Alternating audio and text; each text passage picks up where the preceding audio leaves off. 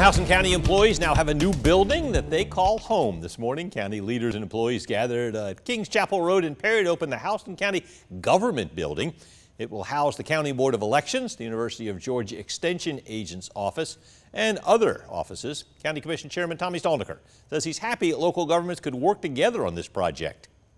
I'm extremely excited. I'm excited uh, in my remarks, and there I said the relationship between the local governments and the success we've had throughout this county is because local governments work together, and this is another example of that.